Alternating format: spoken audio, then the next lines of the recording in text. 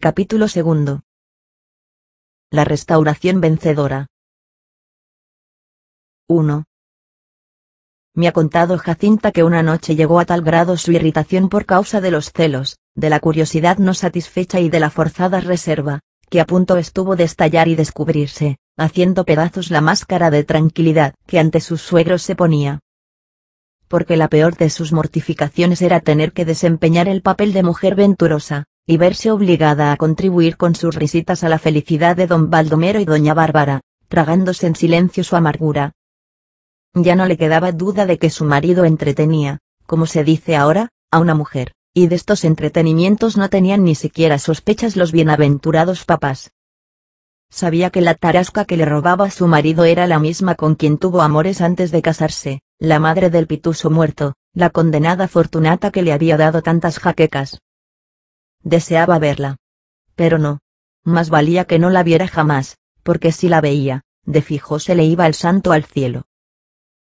La noche a que Jacinta se refería, contando estas cosas, noche tristísima para ella por haber adquirido recientemente noticias fidedignas de la infidelidad de su marido, hubo en la casa gran regocijo. Aquel día había entrado en Madrid el rey Alfonso XII, y don Baldomero estaba con la restauración como chiquillo con zapatos nuevos. Barbarita también reventaba de gozo y decía. Pero qué chico más salado y más simpático. Jacinta tenía que entusiasmarse también, a pesar de aquella procesión que por dentro le andaba, y poner cara de Pascua a todos los que entraron felicitándose del suceso. El marqués de Casa Muñoz oficiaba de chambelán palatino. Había tenido la dicha inmensa de estar en palacio formando parte de una de las comisiones, y el rey habló con él. Contaba el caso el marqués, haciendo notar bien el tono familiar con que se había expresado su majestad. Hola, marqués. ¿Cómo va? Nada, lo mismo que si me hubiera tratado toda la vida. A París sostuvo poco después que él había previsto todo lo que estaba pasando. Él no era partidario de la restauración. Pero había que respetar los hechos consumados. Don Baldomero no cesaba de exclamar, veremos a ver si ahora. ¡Qué dianches!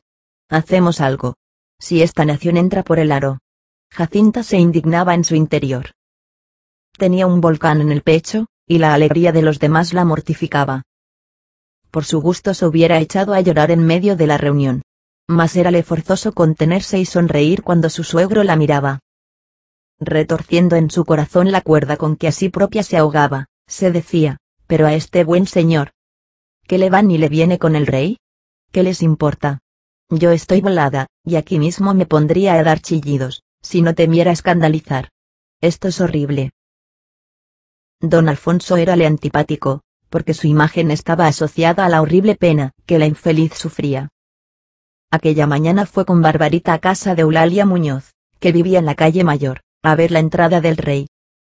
Amalia Trujillo la tomó por su cuenta, y la estuvo adulando antes de darle gran susto.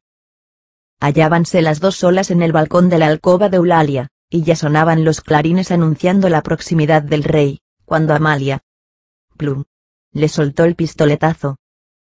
Tu marido entretiene a una mujer, a una tal Fortunata, guapísima. De pelo negro. Le ha puesto una casa muy lujosa, calle tal, número tantos.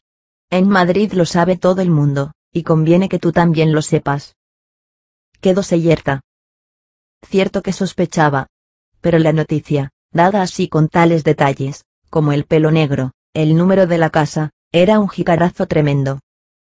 Desde aquel aciago instante, ya no se enteró de lo que en la calle ocurría. El rey pasó, y Jacinta le vio confusa y vagamente, entre la agitación de la multitud y el tururú de tantas cornetas y músicas. Vio que se agitaban pañuelos, y bien pudo suceder que ella agitara el suyo sin saber lo que hacía. Todo el resto del día estuvo como una sonámbula. Entró Guillermina, que también hubo de llevar sus notas de alegría al concierto general. Ya era tiempo, dijo antes de meterse en el rincón en que solía estar. No aguardo sino a que descanse del viaje para ir a echarle el toro. Me tiene que dar para concluir el piso bajo. Y lo hará, porque le hemos traído con esa condición, que favorezca la beneficencia y la religión. Dios le conserve. Jacinta la siguió al gabinete próximo, y allí estuvieron las dos de cháchara por espacio de una hora larga. Guillermina decía, paciencia, hija, paciencia, y todo se arreglará. Yo te lo prometo. Ya cerca de las doce entró Juan, y su mujer le miró con severidad sin decirle nada. Es que te voy a aborrecer, pensó, como no te enmiendes. Pues no faltaba otra cosa. Y lo que es esta noche te como. No me engatusarás con tus zalamerías. Juan, aunque bien hubiera querido contradecir los optimismos de su padre y amigos, no se atrevió a ello, porque el empuje de aquella opinión era demasiado fuerte para luchar con él. Hasta los últimos días del 74 había defendido la restauración. Después de hecha, encontró mal que la hicieran los militares, y en esto fundó sus críticas del suceso consumado. Aquí siempre se han hecho las mudanzas de esa manera, dijo el señor de Santa Cruz con patriarcal buena fe. Es nuestra manera de matar pulgas. Pues qué. Querías tú que las cortes. Estás fresco. Después sostuvo el delfín, con ejemplos de Francia e Inglaterra, que ninguna restauración había prevalecido. Mas todos se negaron a seguirle por los vericuetos históricos. Don Baldomero, sin meterse en dibujos, dijo una cosa muy sensata, producto de su observación de tanto tiempo, yo no sé lo que sucederá dentro de 20, dentro de 50 años. En la sociedad española no se puede nunca fiar tan largo. Lo único que sabemos es que nuestro país padece alternativas o fiebres intermitentes de revolución y de paz. En ciertos periodos todos deseamos que haya mucha autoridad. Venga leña pero nos cansamos de ella y todos queremos echar el pie fuera del plato. Vuelven los días de jarana, y ya estamos suspirando otra vez, porque se acorte la cuerda. Así somos, y así creo que seremos hasta que se afeiten las ranas. Es la condición humana. Así viven y se educan las sociedades, dijo el delfín. Lo que a mí no me gusta es que esto se haga por otra vía que la de la ley.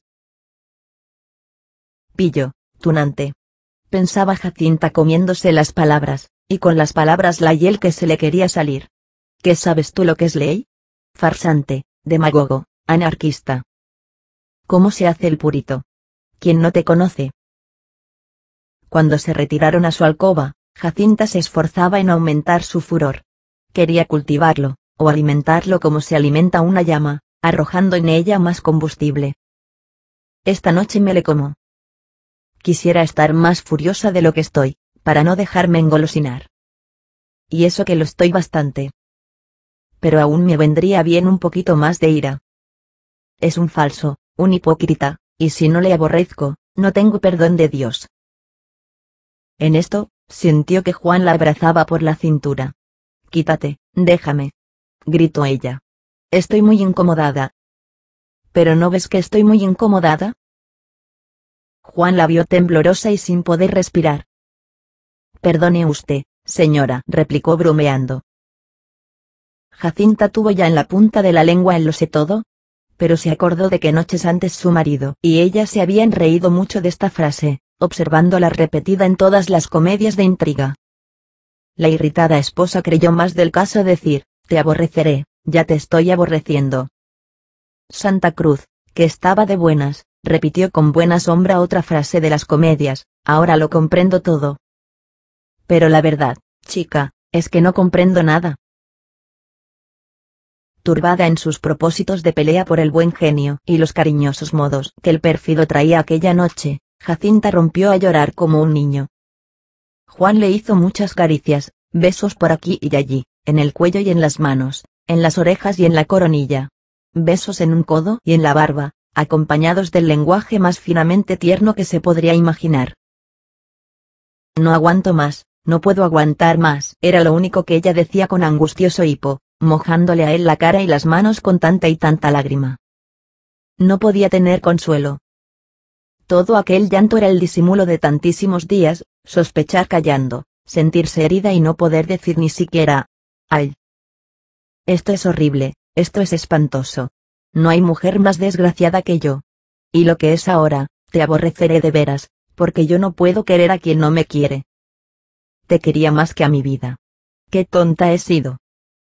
A los hombres hay que tratarlos sin consideración. Ya no más, ya no más. Estoy volada, y lo que es esta no te la perdono. Digo que no te la perdono.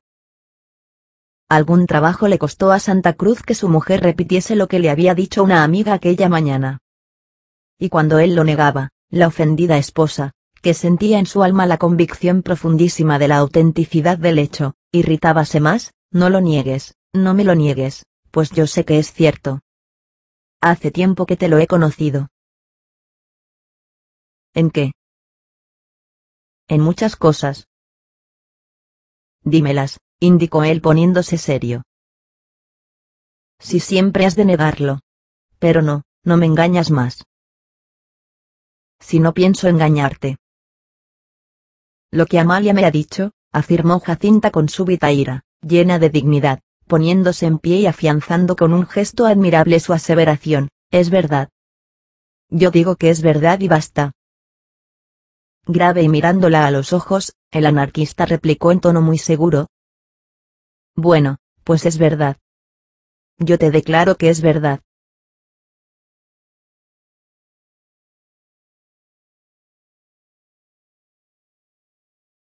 Dos. Quedóse Jacinta como una estatua, y al fin, volviendo la espalda a su marido, hizo un ademán de salir. Él la cogió por una mano, y quiso abrazarla. Ella no se dejó. En medio del estrujón frustrado, Solo pudo articular la esposa muy vagamente estas palabras, me voy. Lo que más la irritaba era que el tunante, después de lo que había dicho, tuviera todavía humor de bromas y pusiera aquella cara de pillín, como si se tratara de una cosa de juego. Porque se sonreía, y tranquilo en apariencia, dijo el en tono de seriedad cómica. Señora, acuéstese usted. Yo. Se lo mando a usted. Acuéstese usted al momento. No le fue a ella posible entonces librarse de un abrazo apretado, y en aquel segundo estrujón, oyó estas cariñosas palabras. ¿No vale más que nos expliquemos como buenos amigos? Hijita de mi alma, si te enfurruñas, no llegaremos a entendernos. Jacinta fue bruscamente desarmada quedóse como el combatiente de los cuentos de niños, a quien por obra de magia se le convierte la espada en alfiler y el escudo en dedal. El delfín había entrado, desde los últimos días del 74, en aquel periodo sedante que seguía infaliblemente a sus desvaríos. En realidad no era aquello virtud, sino cansancio del pecado. No era el sentimiento puro y regular del orden, sino el hastío de la revolución. Verificábase en él lo que don Baldomero había dicho del país, que padecía fiebres alternativas de libertad y de paz. A los dos meses de una de las más graves distracciones de su vida, su mujer empezaba a gustarle lo mismito que si fuera la mujer de otro.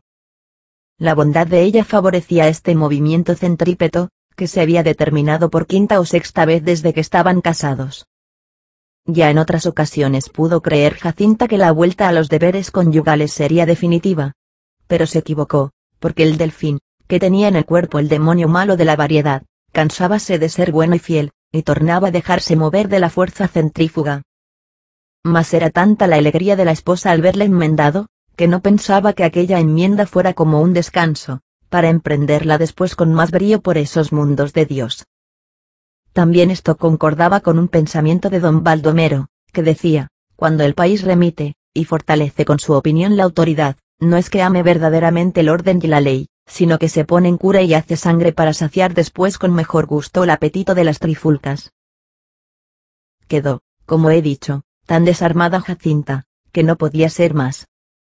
Pero creyendo que su dignidad le ordenaba seguir muy colérica, dijo todas las palabras necesarias para mostrarlo, por ejemplo, me acostaré o no me acostaré, según me acomode. ¿A ti qué te importa? No parece sino que. Conmigo no se juega. ¿Estamos? Pues que se ha figurado este tonto. Hemos concluido, te digo que hemos concluido. Bien, me acuesto porque quiero, no porque tú me lo mandes. Vaya. Poco después se oía en la alcoba lo siguiente, que te estés quieto. No vayas a creerte que ahora te voy a perdonar. No, si no me engatusas. Ni hay tilín que valga. Ya van quince y raya. No están los tiempos para perdones, caballerito. Haz el favor, te digo. No quiero verte, no quiero oírte, ni me importa que me quieras o no. Si me quieres, rabia y rabia. Mejor. yo me reiré viéndote padecer. Con que lo dicho, déjame en paz. Tengo un sueño espantoso. ¿No ves cómo se me cierran los ojos? Y era mentira. Lejos de tener ganas de dormir, estaba muy despabilada y nerviosa. Tú no tienes sueño. ¿A que no lo tienes? Le decía él. ¿A que te despabilo y te pongo como un lucero? ¿A que no? ¿Cómo? Contándote toda la verdad de lo que te dijo Amalia, haciendo una confesión general para que veas que no soy tan malo como crees. Ah. Sí. Ven, ven, hijito, exclamó ella alargando sus brazos desnudos. Confiésame todo. Pero con nobleza. Nada de comedias. Porque tú eres muy comiquito. Gracias que yo te conozco ya las marrullerías, y algunas bolas me trago. Pero otras no. ¿De veras que vas a contármelo todo? La idea de perdonar electrizaba a Jacinta, poniéndola tan nerviosa que echaba chispas. No cabía en sí de inquietud, pensando en lo grande del perdón que tenía que dar en pago de lo enorme de la sinceridad que se le ofrecía. Y su zozobra era tal, que por poco se echa de la cama, cuando Juan se apartó de ella para ir hacia la suya. ¿Pero qué? pensó. ¿Se arrepiente este tuno de lo que ha dicho? ¿Es que no quiere contarme nada? Abur, hombre, dijo en alta voz con despecho. Si vuelvo, si voy allá enseguida. Mi mujer gasta un genio muy vivo. Es que si cuentas, cuentas pronto. Y si no, lo dices, para dormirme. No estoy yo aquí esperando a que al señorito le dé la gana de tenerme en vela toda la noche. Cállese usted, Sotía. Diciendo esto, volvió hacia ella, sentándose en el lecho y haciéndole mil ternezas. Ah. Esto está perdido, murmuró Jacinta en los respiros que las caricias de su marido le dejaban, ahogándola. Mira, estate quieto y no me sofoques. No tengo yo gana de bromas. Vamos al caso, niñita mía. Para que yo te cuente lo que deseas saber, es preciso que tú me cuentes antes a mí otra cosa. Dices que tú sospechabas esto que ha pasado, mejor, que lo adivinabas. ¿En qué te fundabas tú para adivinarlo? ¿Qué observaste y qué supiste? Ay. Con lo que sale ahora este bobo. ¿Crees que una mujer celosa necesita ver nada? Lo olfatea, lo calcula y no se equivoca. Se lo dice el corazón. El corazón no dice nada. Eso es una frase. Cuando te vuelves faltón, la menor palabra, cualquier gesto tuyo me sirven para leerte los pensamientos. ¿Y te parece que es poco dato el ver cómo me tratas a mí? Hasta la manera de entrar aquí es un dato. Hasta una ternura, una palabra cariñosa te venden, porque al punto se ve que son sobras de otra parte, traídas aquí por deber y para cubrir el expediente. Palabras y caricias vienen muy usadas. ¿Cuánto sabes?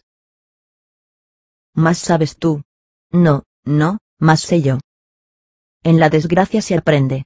Muchas veces me callo por no escandalizar.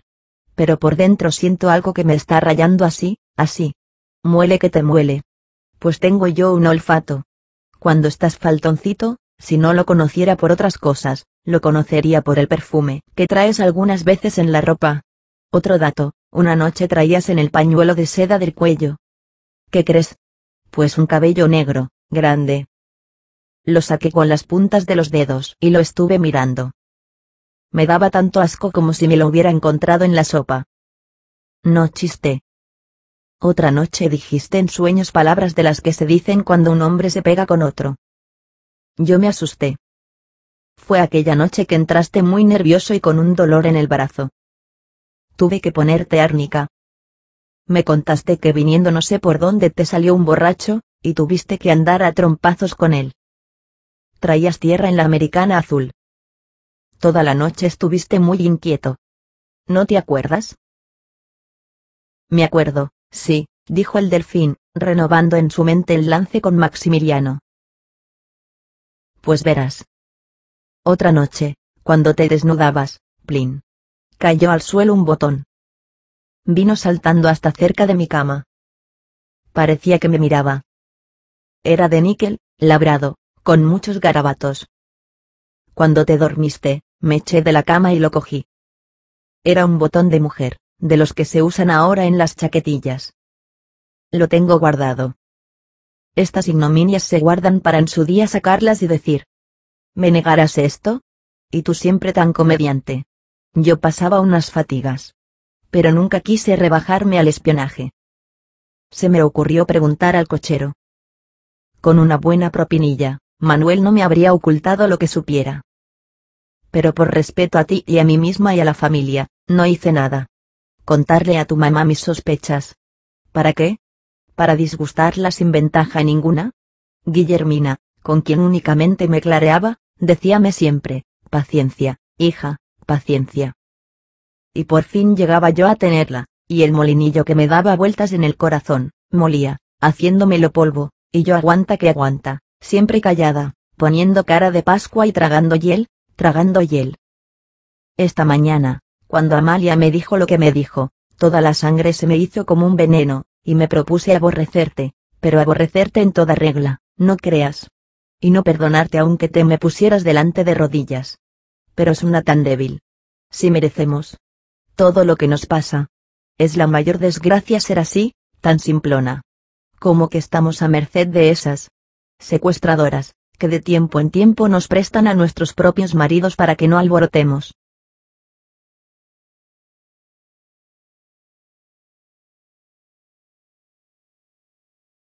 —3. Esta última queja puso al señorito de Santa Cruz un tanto pensativo y desconcertado. No desconocía él la situación poco airosa en que estaba ante Jacinta, cuya grandeza moral se elevaba ante sus ojos para darle la medida de su pequeñez. Era muy soberbio. Y el amor propio descollaba en él sobre la conciencia y sobre los sentimientos todos, de manera que nada le molestaba tanto como verse y reconocerse inferior a su mujer. Cuando, media hora antes, prometió confesar sus faltas, hízolo movido de orgullo, para engalanarse con la sinceridad, a la manera del fatuo que se da tono con una cruz. La confesión de la culpa ennoblece siempre, y como demasiado sabía él que todo lo noble hallaba eco en el gran corazón de Jacinta, se dijo, aquí me viene bien un rasgo. Pero el momento de la confesión se acercaba, y el pecador estaba algo confuso, sin saber cómo iba a salir de ella. Lo que él quería era quedar bien, remontarse hasta su mujer, y superarla si era posible, presentando sus faltas como méritos, y retocando toda la historia de modo que pareciese blanco y hasta noble lo que con los datos sueltos del botón y el cabello era negro y deshonroso. No tenía que calentarse mucho los sesos para salir del paso, porque para tales escamoteos tenía su entendimiento una aptitud particular. Su imaginación despiertísima se pintaba sola para hacer pasar de un cubilete a otro las ideas. Lo que él no podía sufrir era que se le tuviese por hombre vulgar, por uno de tantos, hasta las acciones más triviales y comunes, si eran suyas, quería que pasasen por actos deliberadamente admirables y que nada se parecían a lo que hace todo el mundo. Rápidamente, con aquella presteza de juicio del artista improvisador, hizo su composición, y allá te van las confidencias.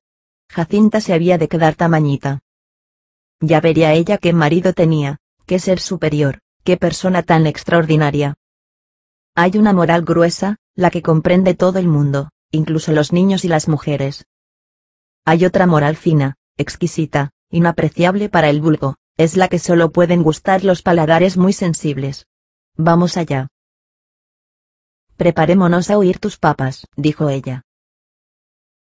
De todo lo que has dicho, parece deducirse que yo soy un miserable, un cualquiera, uno de tantos. Pues ahora lo veremos. He guardado reserva contigo, porque creí que no me comprenderías. Veremos si me comprendes ahora. Es cierto que hace dos meses, me encontré otra vez a... Haz el favor de no nombrarla, suplicó Jacinta con viveza. Ese nombre me hace el efecto de la picadura de una víbora. Bueno, pues voy al grano. Encontréme la casada. Casada. Sí, con un simple, la metieron en un convento, la casaron después como por sorpresa. Chica, una historia de intrigas, violencias y atrocidades que horroriza. Pobre mujer. exclamó ella, respondiendo al intento de Juan, que empezaba por hacer a la otra digna de lástima. pero bien merecido le está por su mala conducta. Espérate un poco, hija. Mujer tan desgraciada no creo que haya nacido. Ni más mala tampoco. Sobre eso hay mucho que decir. No es maldad lo que hay en ella, es falta de ideas morales. Si no ha visto nunca más que malos ejemplos. Si ha vivido siempre con tunantes. Yo pongo en su lugar a la mujer más perfecta, a ver lo que hacía. No, no es lo que crees. Digo más, sería muy buena, si la dirigieran al bien. Pero hazte cargo, después de andar de mano en mano, este la coge, este la suelta, la casan con un hombre que no es hombre, con un hombre que no puede ser marido de nadie. Jacinta abrió la boca. Tan grande era su pasmo. Y ese majadero la martirizaba de tal modo desde el primer día de matrimonio, que la infeliz, prefiriendo la libertad en la ignominia a una esclavitud insoportable, se escapa de la casa, y se echa otra vez a la calle, como en sus peores tiempos. En esto me encuentra y me pide amparo. Jacinta no había cerrado todavía la boca. En tal situación, prosiguió Juan, hallándose ya en plena posesión de su tesis y con los cubiletes en la mano, yo te planteo el problema a ti. Vamos a ver. Figúrate que eres hombre. Figúrate que te encuentras delante de aquella infeliz mujer, que te pide socorro, una defensa contra la miseria y la deshonra, y al verla delante, tú te reconoces autor de todas sus desdichas, porque tú la perdiste, porque de ti le vienen todos sus males. Yo quiero que me digas con lealtad qué harías, qué harías tú en este trance. Pero cierra ya esa boca. Basta ya de asombro y contéstame. Pues yo. ¿Qué haría? Echar mano al bolsillo, darle cuatro o cinco duros, y marcharme a mi casa. Esa fue mi primera idea. Pero ciertas deudas, señora mía, dijo Santa Cruz triunfante, no se saldan con cuatro ni con cinco duros. Pues mil, dos mil, cien mil reales, vamos. Tampoco. Yo pensé que debía poner a aquella infeliz en camino de adquirir una posición decente y estable. Buscarle un marido, no podía ser. Estaba casada. Procurarle una manera de vivir con independencia y honradez. Ah. Esto es muy difícil. No tiene educación. No sabe trabajar en nada que produzca dinero. No hay para ella más recurso que comer de su belleza. Pero en esto mismo hay distintos grados de ignominia. No empieces a hacerte cruces, hija. Las cosas hay que tomarlas como son. Otra cosa es empeñarse en sostener una filosofía cursi. Yo le dije, bueno, pues te pongo una casa, y arréglatelas como puedas. No, si no es para que hagas tantas cruces, lo repito. Hay que ponerse en la realidad, niñita. No mires esto con ojos de mujer. Ponte en mi caso. Figúrate que eres hombre. Estoy asombrada de la vuelta que le das a tus caprichos, y de lo bien que te las compones para hacer pasar por protección desinteresada lo que en realidad es amor que tenías o tienes a esa maldita. Pues a eso voy ahora. Aquí te quiero ver. Atención. Yo te juro que no despertaba en mí ni el amor más insignificante, ni tan siquiera un capricho de momento. No hay ejemplo de una frialdad como la que yo sentí ante ella. Bien me lo puedes creer. No solo no me inspiraba pasión, sino que hasta me repugnaba. Eso, dijo la esposa, que te lo crea otro, que lo que es yo. Qué tonta eres. Tu incredulidad nace de la idea equivocada que tienes de esa mujer te la has figurado como un monstruo de seducciones, como una de esas que, sin tener pizca de educación ni ningún atractivo moral, poseen un sinfín de artimañas para enloquecer a los hombres y esclavizarles volviéndoles estúpidos. Esta casta de perdidas que en Francia tanto abunda, como si hubiera allí escuela para formarlas, apenas existe en España, donde son contadas. Todavía, se entiende, porque ello al fin tiene que venir, como han venido los ferrocarriles. Pues digo que Fortunata no es de esas, no posee más educación que la cara bonita. Por lo demás, es sosa, vulgar, no se le ocurre ninguna picardía de las que trastornan a los hombres. Y en cuanto a formas. No hablo del cuerpo y talle. Sigue tan tosca como cuando la conocí. No aprende. No se le pega nada.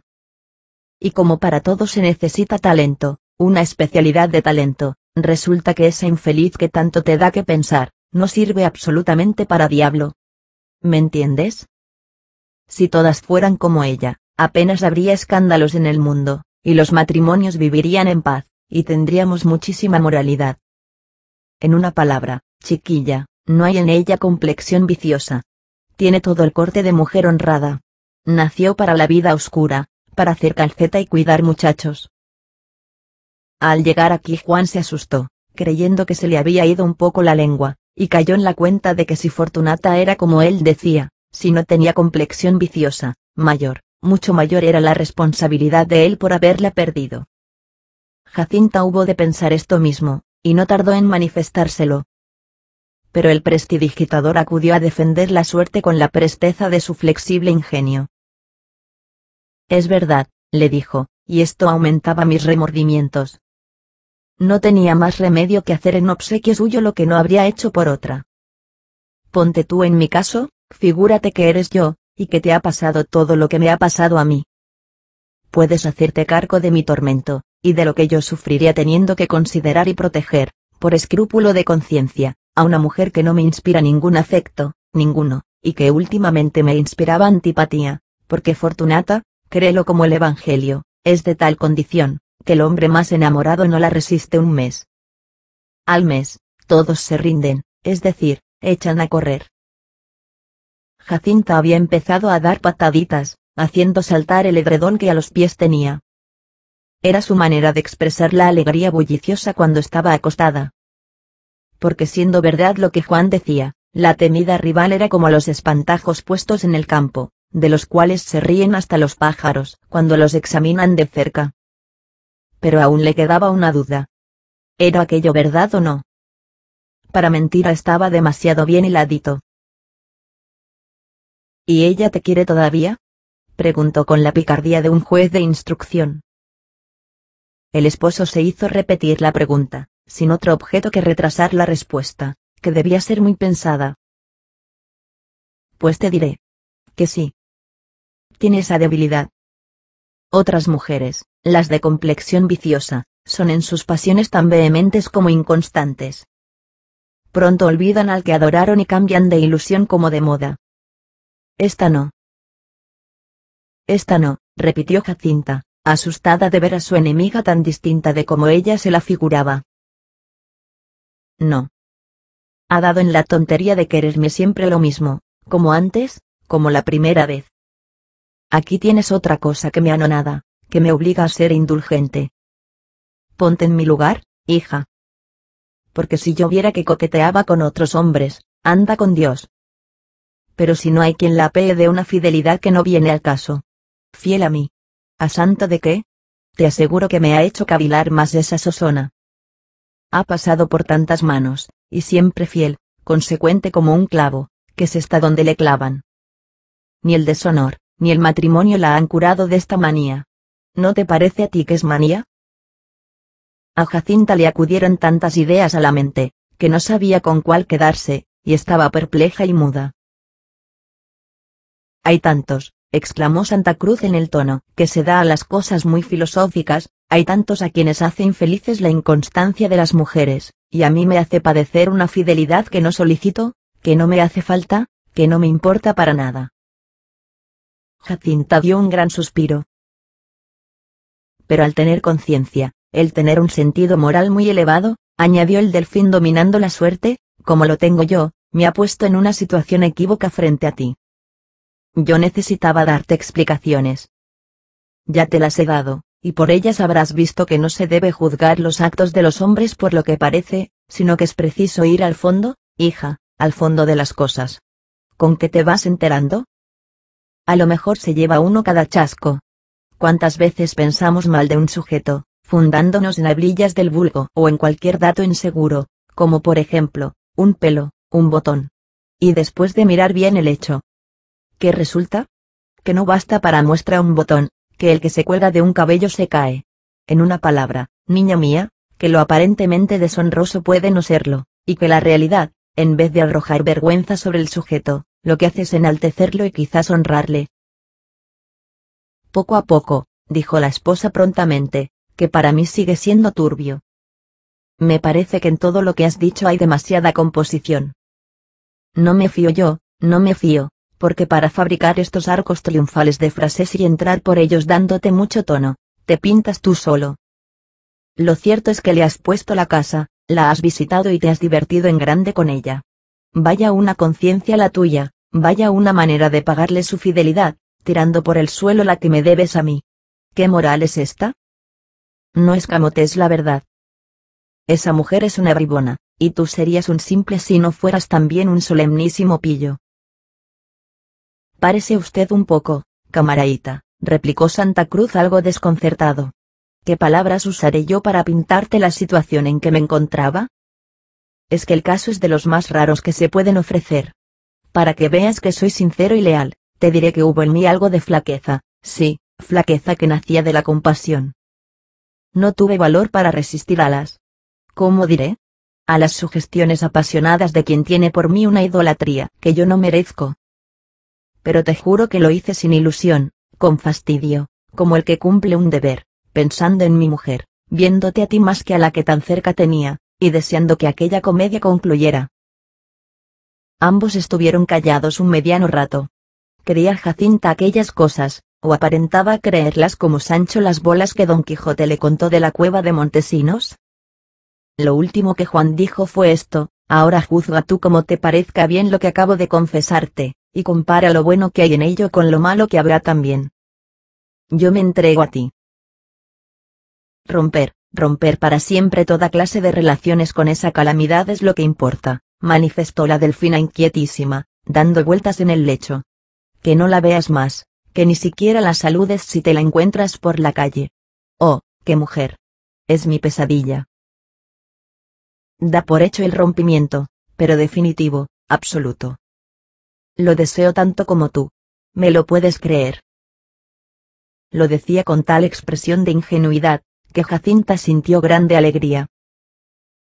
Sí, hija, no aguanto más. Que se vaya con su constancia a los quintos infiernos. ¿Y si da en perseguirte? Seré capaz hasta de recurrir a la policía. ¿De modo que no vuelves más a esa casa? Di que no vuelves, dime que no la quieres. Va. Demasiado lo sabes. No volveré más que a despedirme. No. Escríbele una carta. Las despedidas cara a cara no son buenas para romper.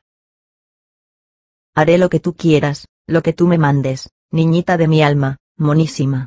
Más salada que el terrón de los mares.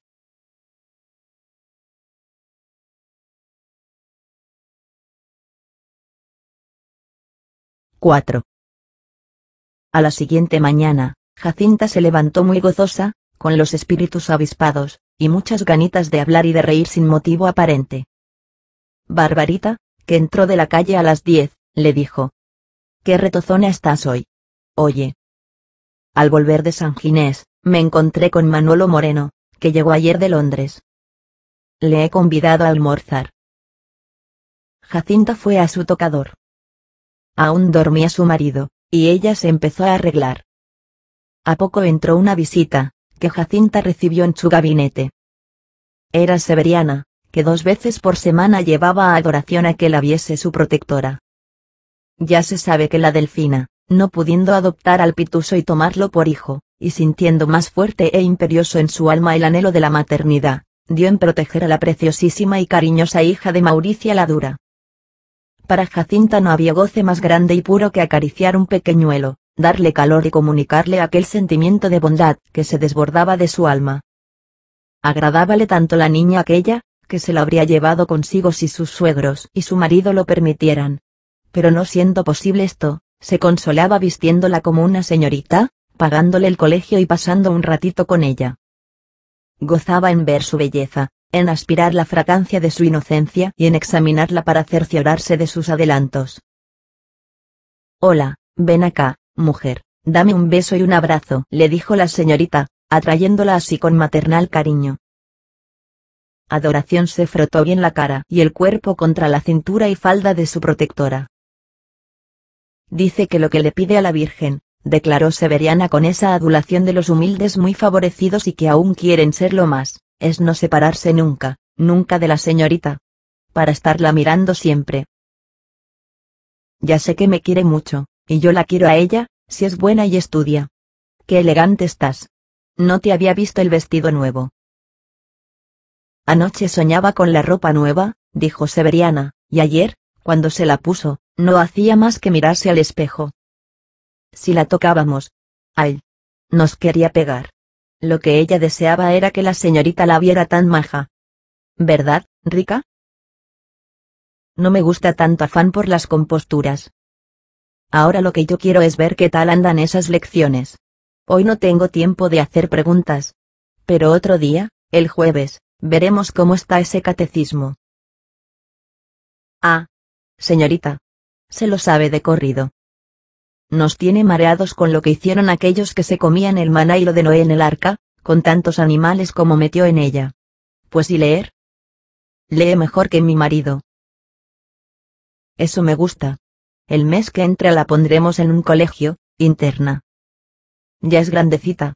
Es preciso que vaya aprendiendo los buenos modales. Su poquito de francés, su poquito de piano. Quiero educarla para maestrita o institutriz. ¿Verdad? Adoración la miraba como en éxtasis. ¿Y esa mujer? preguntó luego Jacinta Severiana, refiriéndose a la madre de Adoración. Señora, no me la nombre. A poco de salir de las Micaelas, parecía algo enmendada. Volvió a correr pañuelos de Manila y algunas prendas. Estaba en buena conformidad, pero ya la tenemos otra vez en danza con el maldito vicio. Anteanoche la recogieron tiesa en la calle de la comadre. ¡Qué vergüenza! Jacinta hizo un gesto de pena. Pobrecita mía. exclamó abrazando más estrechamente a su protegida. Por esto, añadió la otra, yo quería hablar a la señorita para ver si doña Guillermina tenía proporción de meterla en cualquier parte donde la sujetaran. En las Micaelas no puede ser, a cuento de que allí la tuvieron que echar por escandalosa. Pero bien la podrían poner, si a mano viene, en un hospicio, o casa de orates, al menos para que no diera malos ejemplos. Veremos. Dijo distraída Jacinta levantándose, porque había oído el repique del timbre con que su marido llamaba. Faltaba algo antes de que Adoración se despidiera. Su protectora le daba siempre una golosina, y aquel día hubo de olvidarse. Quedó separada la niña en medio del gabinete, aun después de los últimos besos de la despedida. Jacinta cayó en la cuenta de su distracción. Espérate un momento. A poco volvió con lo que la chiquilla deseaba, y repetida la recomendación de portarse bien y estudiar mucho, acompañólas hasta la puerta. Cuando Severiana y su sobrinita salían, entraba Moreno Isla, y Jacinta que le vio subir, se detuvo en el recibimiento. Subía despacio y jadeante, a causa de la afección al corazón que padecía. Estaba muy envejecido, de mal color, y con más aire extranjero que antes. Oh, puerta del paraíso. ¿Qué manos te abren? Dispense usted. Me canso horriblemente, dijo Moreno, saludándola con tanta urbanidad como afecto. Estupiña, que entraba detrás, le echó también un gran saludo a don Manuel, permitiéndose abrazarle, porque eran antiguos amigos.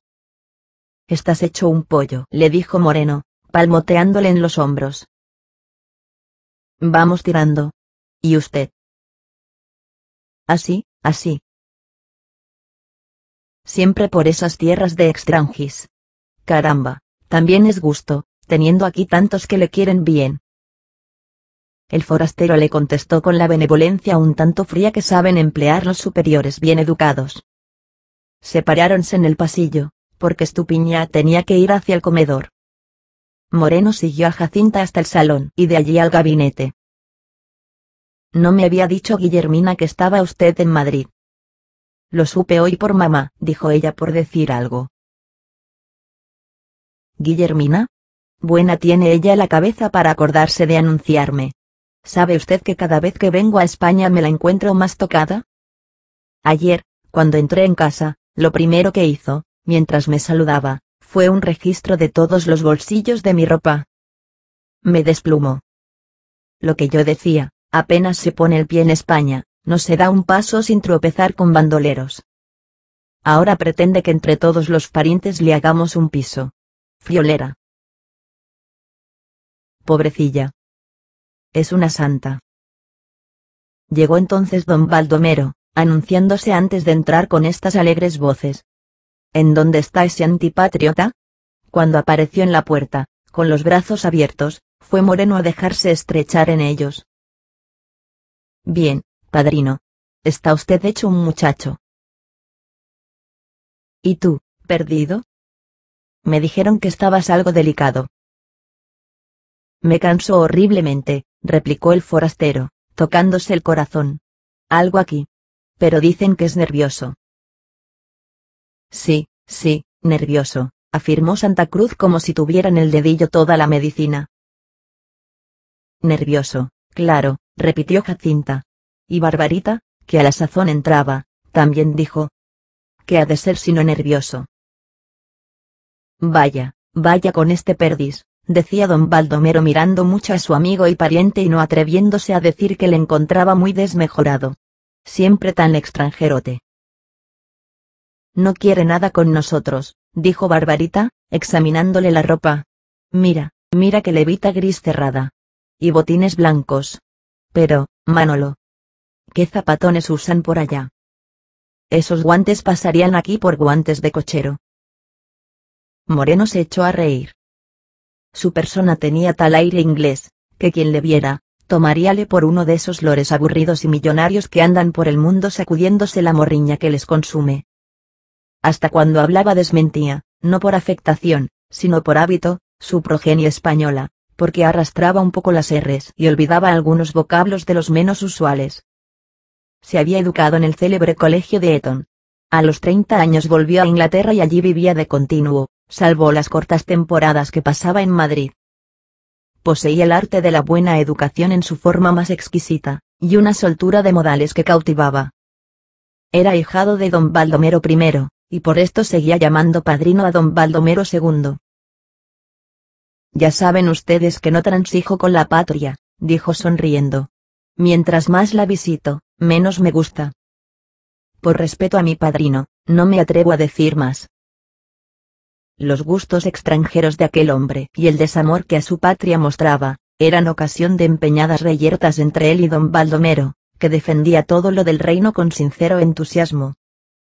A veces perdía los estribos el buen español, sosteniendo que en todo lo de fuera hay mucho de farsa, y Moreno, extremando sus antipatías, sostenía que en España no hay más que tres cosas buenas, la Guardia Civil, las uvas de Albillo y el Museo del Prado. Vamos a ver, dijo don Baldomero con alegría, que le retozaba en la cara. ¿Qué me dices del rey que hemos traído? Ahora sí que vamos a estar en grande. Verás cómo prospera el país y se acaban las guerras. Es guapo chico. Varios españoles residentes en Londres le acompañamos en el tren hasta Dover. Yo le regalé un magnífico reloj. Es muy despejado chico, pero muy despejado. Lástima de rey. Yo le dije, Vuestra Majestad va a gobernar el país de la ingratitud. Pero Vuestra Majestad vencerá la hidra. Esto lo dije por cortesía. Pero yo no creo que pueda barajar a esta gente. Él querrá hacerlo bien. Pero falta que le dejen. En esto entró Juan, y él y su pariente se dieron los abrazos de ordenanza.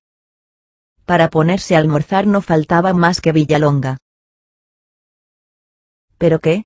dijo el delfín. ¿Le esperamos? Sabe Dios a qué hora vendrá. Anoche se retiraría a las tres de la tertulia del ministro de la Gobernación, y estará todavía en la cama. Acordaron, pues, no aguardar más, y durante el cordial almuerzo, que quieras que no, la conversación versó sobre si en España es todo malo, o si en Francia e Inglaterra es de buena ley todo lo que admiramos. Moreno Isla no cedía una pulgada de terreno antipatriótico en que su terquedad se encerraba. Miren ustedes. Hablando ahora con toda seriedad, dijo, después de apurar bien el tema de las comidas, y pasando a ciertas ideas de cultura en general. Yo he hecho una observación que nadie me desmentirá. Desde que se pasa la frontera para allá y se entra en Francia, ¿no le pica a usted una pulga? Risas. Pero ¿qué tendrán que ver las pulgas? ¿Y sostienes tú que en Francia no hay pulgas? No las hay, créame usted, padrino, no las hay. Es un resultado del aseo general, de la limpieza de las casas y de las personas. Vaya usted a San Sebastián. Se lo comen vivo. Hombre, por Dios. ¿Qué argumentos? Sonó la campanilla. Ahí está. Dijeron todos, y Barbarita miró al lugar vacío que estaba destinado a Villalonga en la mesa. Este entró muy alegre, saludando a la familia, y dando un apretón de manos a Moreno. Indulgencia, señora. He venido volando por no hacerme esperar. Amigo, desde que está usted en Candelero, no hay quien le vea. Qué caro se cotiza. Es que no me dejan vivir. Anoche duró el jubileo hasta las tres. 200 personas entrando y saliendo. Y que no pretenden nada. Preparando las elecciones. Eh. Oh. Pues si pasamos al terreno político. Indicó Moreno. No, no pases, replicó Santa Cruz. En ese terreno concedo, concedo. Después hubo debate sobre quesos, diciendo don Baldomero que los del reino son también muy buenos. Luego tratóse de las casas, que Moreno calificó de inhabitables. Por eso todo el mundo vive en la calle. Pues mire usted, dijo Villalonga, las casas serán todo lo malas que usted quiera. Pero hay en las del extranjero una costumbre, que maldita la gracia, que tiene. Me refiero a la falta de maderas en los balcones y ventanas, por lo cual entra la luz desde que Dios amanece, y no puede usted pegar los ojos. ¿Pero usted cree que por allá hay alguien que se esté durmiendo hasta el mediodía? Sobre esto se habló mucho, y el forastero sacó a relucir otras cosas. Yo de mí sé decir que cuando paso la frontera para acá recibo las más tristes impresiones. Habrá algo que admirar. A mí se me esconde, y no veo más que la grosería, los malos modos, la pobreza, hombres que parecen salvajes, liados en mantas. Mujeres flacas, lo que más me choca es lo desmedrado de la casta. Rara vez ve usted un hombrachón robusto y una mujer fresca. No lo duden ustedes, nuestra raza está mal alimentada, y no es de ahora. Viene pasando hambres desde hace siglos. Mi país me es bastante antipático, y desde que me meto en el express de Irún ya estoy renegando. Por la mañana, cuando despierto en la sierra y oigo pregonar el botijo de leche, me siento mal. Créanlo ustedes. Al llegar a Madrid, y ver la gente de capa, las mujeres con mantones, las calles mal adoquinadas, y los caballos de los coches como esqueletos, no veo la hora de volverme a marchar. Hombre, ¿en qué tonterías te fijas? observó don Baldomero, continuando la apología de la patria en términos calurosos que el otro oía con benevolencia. Cuando tomaban el café, notaron todos que Moreno se sentía mal. Pero él disimulaba, y llevándose la mano al corazón, decía otra vez, algo aquí. No es nada. Nervioso quizás. Lo que más me molesta es el ruido de la circulación de la sangre. Por eso me gusta tanto viajar. Con el ruido del tren, no oigo el mío. Hubo un momento de silencio y tristeza en la mesa. Pero aquello pasó, y siguieron charlando. Jacinta observaba que alguien le hacía telégrafos desde la puerta, alzando un poco el cortinón. Salió, era Guillermina. No, yo no paso. Tengo que irme al momento a la obra, le dijo con secreteo. Vengo para encargarte que le hables. Saca la conversación como puedas, y que se entere bien de la necesidad en que estamos. Moreno ayudará, díjole su amiguita, llevándola a otra pieza para hablar con más libertad. No sé. Está incomodado conmigo. Esta mañana hemos reñido. La verdad. Me enfadé, me tuve que enfadar. Figúrate que esta vez viene más hereje que nunca. Cada uno es dueño de condenarse.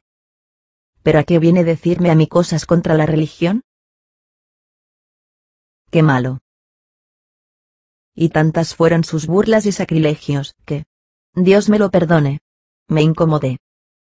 Le dije que no me hacía falta su dinero para nada, y que tendría miedo de tomarlo en mis manos, por ser dinero de Satanás.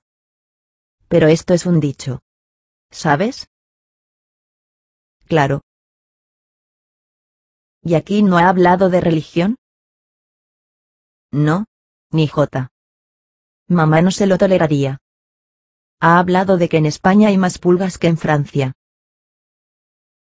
Dale. ¿Qué importará que haya pulgas con tal que haya cristiandad? Las cosas que dicen estos herejotes nos indignarían si no las tomáramos a risa. Tú no sabes bien lo protestante y calvinista que viene ahora. Me horripilé oyéndole. Pero en fin, allá se entenderá con Dios. Y entre tanto, lo que importa es que afloje los cuartos para mi obra. Y que le ha de valer para su alma, aunque él no quiera. Con que a ver si me le catequizas. Haré lo que pueda. Veremos, le diré algo. No vayas a olvidarte. Adiós, hija de mi alma. Me voy. Esta noche me contarás lo que te diga. Creo que no nos dejará mal, porque en el fondo es un buenazo. A poco que se le raspe la corteza de hereje, sale aquella pasta de ángel de otros tiempos. Quédate con Dios. Volvió Jacinta al comedor. Si cumplió o no el encargo de Guillermina, lo veremos a su tiempo.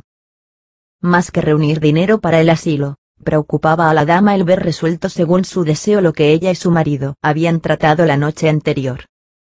Movida de este afán, así que se marcharon Moreno y Villalonga, cogió por su cuenta al delfín, y otra vez trataron ambos la cuestión de la ruptura. De acuerdo estaban en lo principal, discrepando solo en el procedimiento más adecuado, pues ella opinaba por una carta y él por una entrevista de despedida. Al fin, tras laboriosa discusión, prevaleció este criterio, como verá el que siga leyendo.